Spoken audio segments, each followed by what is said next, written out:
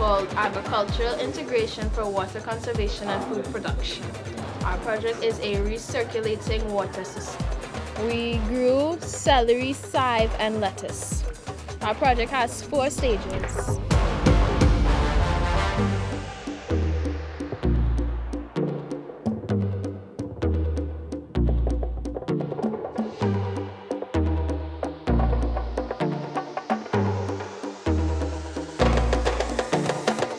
Stage 1 we deal with the extraction um, of the water from the fish tank using a submersible pump which we modify using a used plastic crate with a piece of sponge and some fish nets. We maintain this by taking it out slowly, unplugging it from inside, taking it out slowly, bending it over without damaging it, or taking out the sponge and the fish net, washing it out with our hose, putting back everything how it was, and putting it back into the tank and putting it back on the hose.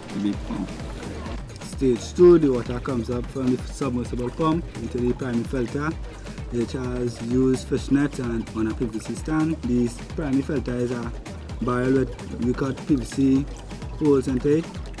One of the PVC is to control the overflow of the water. One is to drain out all the slush from when we're maintaining it and one is to carry the water into the primary filter into the secondary filter by gravity. Maintain it, maintain the primary filter by lifting up the fish nets and rinsing out the barrel and draining out all the slush from it. The second part in stage two, it has recycled bottle caps, recycled onion bag, two level sponge. That is a trap the waste from the primary filter what comes through to the primary filter going into the secondary filter. We, we take out the we take out the caps and, and the onion bag you know, that to wash it out because it has been dirty, so you just wash it out and it by a gravity flows through the through the pipes that run into the plant. Stage 3 is when the water from the secondary filter flows through 3 quarter inch pipes and it flows through 3 inch pipes. It flows through where we have the plants placed in, placed in the pipe tubings, where we have uh, two air line running so the roots can get oxygen and the roots, we push the roots down enough so it can get some water to absorb the nutrients running through the pipes.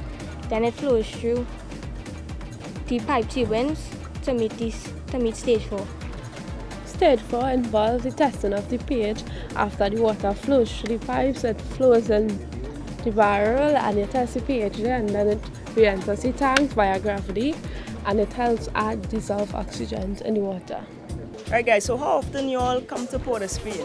Well, I just go to Port of Spain to travel and go all over the place and um, shopping and things. So what was your experience like coming to the TV station? All of us was nervous, you know, because first time we were going on television, worldwide scene, so we were just nervous. But we still had to show no fear. What was your community reaction when they saw you on TV for the first time? They was like, they was excited for us and to see us on television. They was like, hey, I see you on TV. I say, hey, look, I know this one, you know.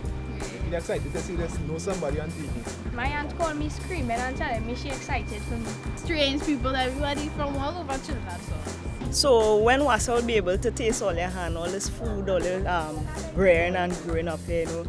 Prepare a gourmet dish for us. When, when we could look forward to that? Soon, man, soon. Trinidad, they're going to get a gourmet plate of food from Blanchisseuse Secondary School. They're going to get lettuce. With lettuce at the side, a pilau, fish pilau. Plus, you're going to get the, the fish seasoned down nice and everything, you know. So, you know, it will taste very nice. Just come up on Blanche's side. And everything's organic. Yeah. What gave you the idea of this project? We are all um, classmates of the CVQ aquaculture class. This is where we're rearing tilapia fishes. So, and Mr. Ramna taught us ways to conserve water and recycle. So it was like when we heard about the project, it's a better way and we could actually improve on what we're learning and our work. How much water have you conserved by implementing this project? We'll be able to conserve 2,800 gallons of water a week. Would you say that your project came within budget or not? How much money you spent on implementing the project so far? About over $4,000. So we're in budget because we never went over our price um, that WASA gave us. In terms of when you initially started out the project, would you say there's a difference in the scope of the project now or it remained the same from when you originally planned? We didn't really think that the um, crops would actually grow so big and long, so it's actually a different outcome of what we thought would have actually happened. So originally when you planned, you set out to do the project, what you originally had in mind? We thought they would just grow like normal, small, you know. So that's not normal? No, that's extra. That is, you wouldn't catch that in any market in town. How, in your opinion, has the experience here doing this project benefited you? Because we would have used like normal pellets, we didn't know it was tilapia pellets we had to use for the fish. So you know, it, and the, um, all of us have a good relationship with, with each other now, so you know, it, it make a big difference in friends and everybody come closer to each other. Well, this process is called harvesting. We taking out. This was the original fish tank we used to for the project, but we, this morning we pump out some of the water into the other tanks, which we conserving it again. So instead of wasting it, we pump it in that tank to save it. Then we go and take it out because the slush in here, it start to get real dirty, which we don't need it again no more. So we put, we put the system into this tank here, which go do the same thing as this tank is.